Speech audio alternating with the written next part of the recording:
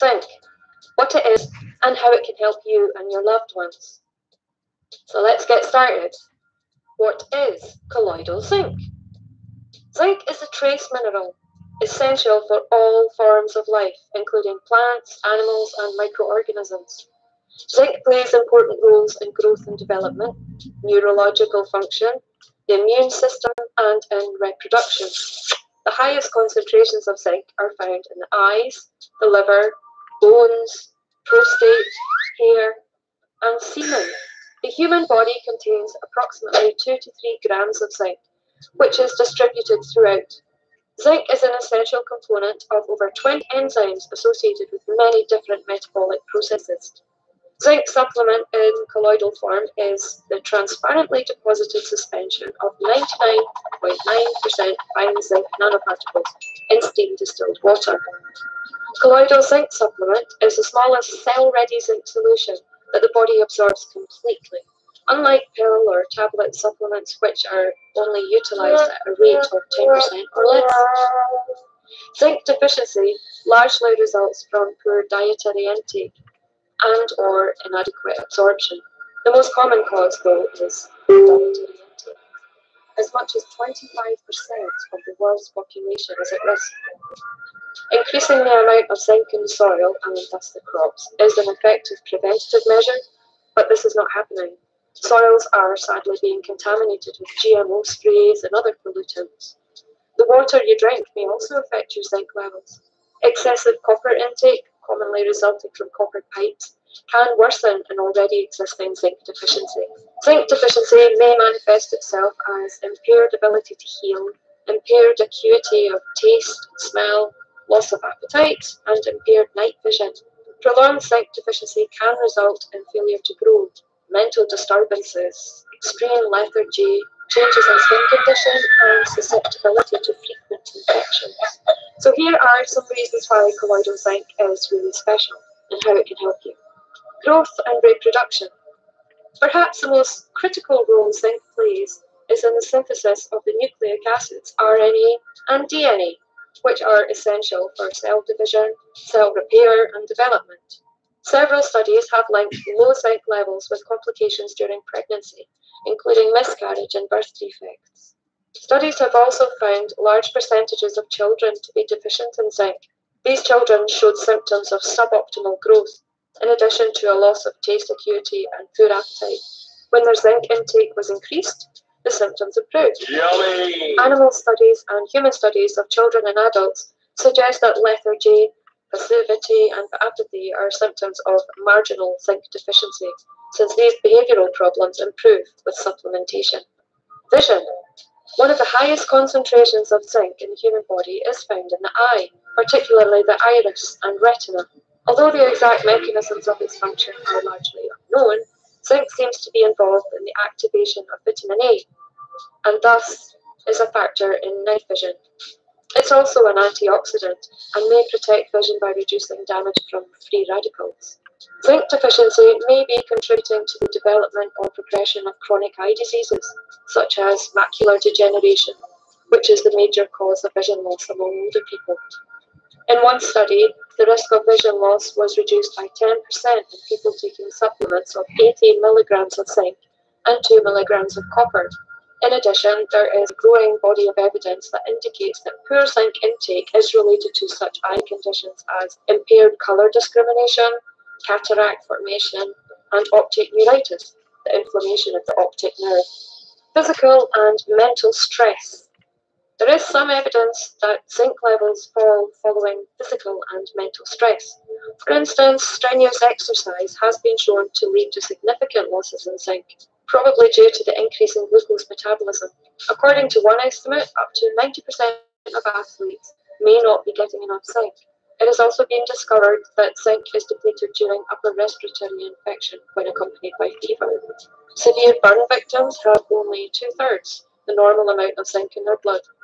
Studies have shown that zinc supplements may have therapeutic value in cases of physical stress. When hospital patients who were marginally deficient in zinc were given extra, it helped restore the rate of healing to normal. Zinc may therefore be of benefit to people who have undergone surgery or have sustained broken bones or wounds. Some physicians prescribe zinc to stimulate the healing process. Taste and smell. Zinc is especially important in body systems that undergo a rapid turnover of cells.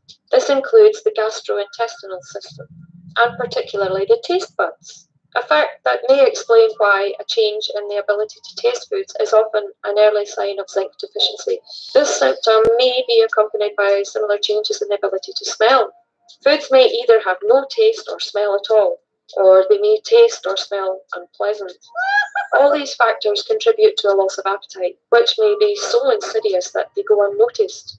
Many elderly patients report a heightened sense of taste after taking colloidal zinc for a few weeks. They often find this development quite remarkable, since prior to supplementation, they may not have even recognized the loss of taste sensitivity. The elderly may benefit from zinc supplementation in another way too, as zinc appears to play a role in increasing bone density in postmenopausal women. The immune system. Zinc may exert a protective influence by boosting the immune system. Many studies have shown that zinc deficiency can impair a large variety of immune functions and defense mechanisms in animals, and some studies have shown similar effects in humans. These effects, which include abnormalities and eventual shrinking of the spleen, thymus, and lymph nodes, and impaired production of antibodies, have been found to be correctable with zinc supplementation. Low zinc levels, often accompanied by high copper levels, have been reported in people with many types of cancer. We've known since 1981 that people with a certain type of lung cancer survived for a significantly longer period of time when they had higher levels of zinc in their blood. It's not surprising that low levels of zinc are also found in people with AIDS.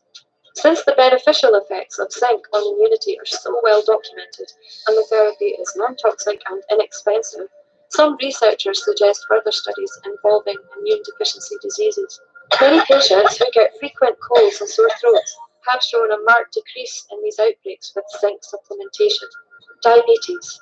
Diabetics tend to have less zinc in their tissues, and this may be related to many of the complications.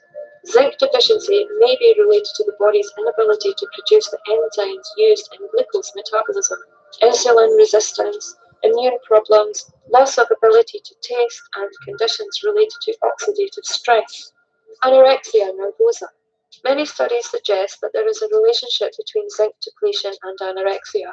Researchers theorize that inadequate levels of zinc might somehow help trigger the development of this condition, which further depletes the zinc levels, which further worsens the symptoms, and so on in a vicious cycle. Many anorexia patients have improved with zinc supplementation, indicating that zinc may be helpful both in the treatment and in the prevention of this serious condition. Hormone levels. Zinc has been shown to inhibit the production of prolactin, a pituitary hormone, and so is used therapeutically in men and women with abnormally high prolactin levels. Elevated prolactin levels can lead to distressing effects such as secretion of breast milk, enlarged breasts in men, sexual dysfunction, and breast cancer. The prostate gland. The prostate gland has one of the highest concentrations of zinc in the body. In general, low levels of zinc in the prostate may appear to be associated with diseases of the gland. Zinc supplementation has been shown to reduce the size of the prostate and symptoms of benign prostatic hypertrophy, or BPH for short. Zinc also inhibits the binding of androgens to receptors in the prostate gland, an action that may play a role in the prevention of prostate cancer and other diseases. Other protective functions. Aside from its support of the immune system, zinc may protect the body in a variety of other ways. Zinc is also known to prevent the absorption of lead and cadmium, which we may be exposed to through our drinking water, car and bus exhaust fumes, and many other environmental factors. Through its influence on cell membrane stability, zinc may also help protect us from substances known to contribute to cancer, heart disease, and a variety of other disorders. Zinc is an essential component of superoxide dismutase, or SOD for short. This is an antioxidant made by the body to help combat free radicals. You are what you eat. Consider your diet. Avoid fast foods, they're just processed garbage with little or no real nutritional value.